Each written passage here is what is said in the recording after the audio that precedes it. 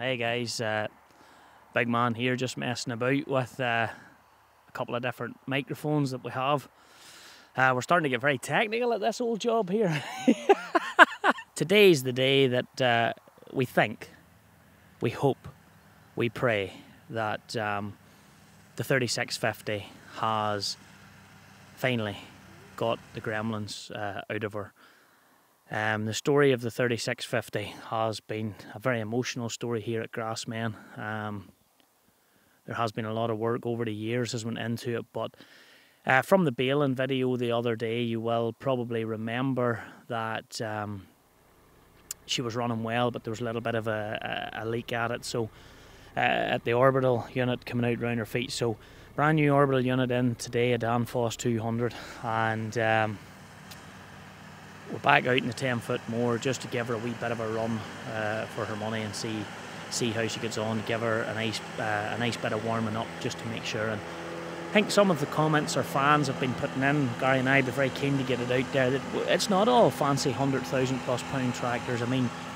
the Maxxum is a super tractor driven tonight by. Uh, Big Greg, as we call him, Baby Bear, and Gary's out with the 1365 and the uh, 3650 just giving it a run up. So realistically you're looking at a cost, a cost of about, look we'll call it 40 grand's worth of tractors and two tractors and we'll call it uh, somewhere between 15 and 20 grand uh, between the two mowers. So when you add that all up, you've two wee outfits buzzing about there, absolutely perfect. You have a tractor that's of great valuable use to the farmer throughout the year, runs the rake, can do all those little bits and jobs. I know we try and get out and, and take part and help when it comes to the silage. So that's what it's all about. It's not all fancy rigs and fancy gears with us either. It's just Gary and I don't very often get the time uh, to show on camera us out playing, uh, just doing doing the thing sort of normal. I want to play a little bit of a video now just to sort of showcase the journey of the 3650 with regards to mechanical repairs and I think in this little short video you will see that there was no stone left unturned.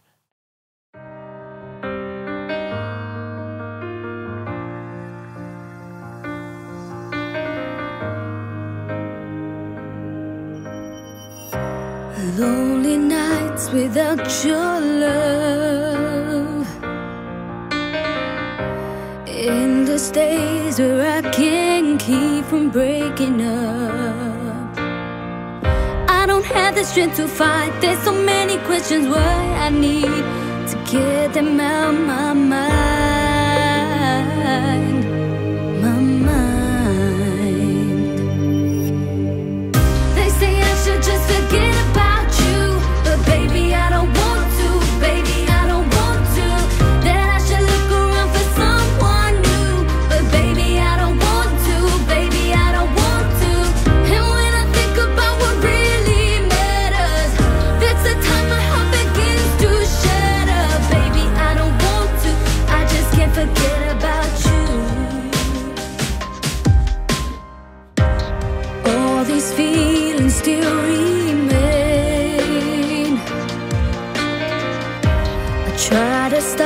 But still the embers feed the flames.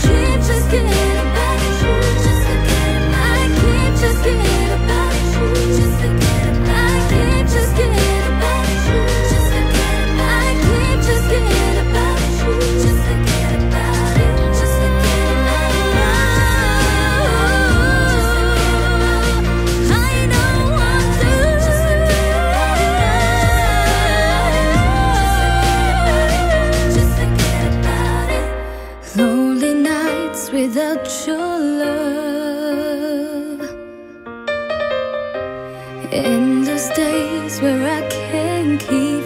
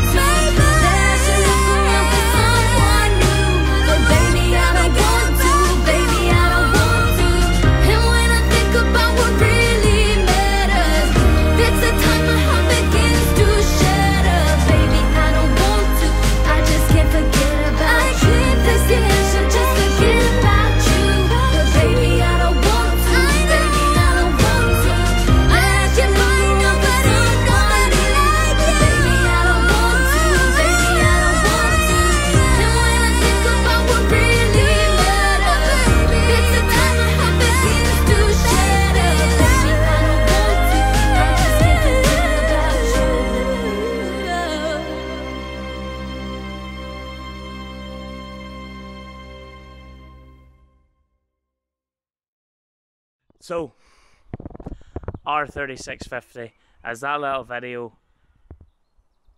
that we tried to make from years ago. I've sort of saying this before I've actually got that bit of a video together, but as the bit of video that you just watched should tell you, this tractor broke our heart, and um, we wouldn't give up on it. Look.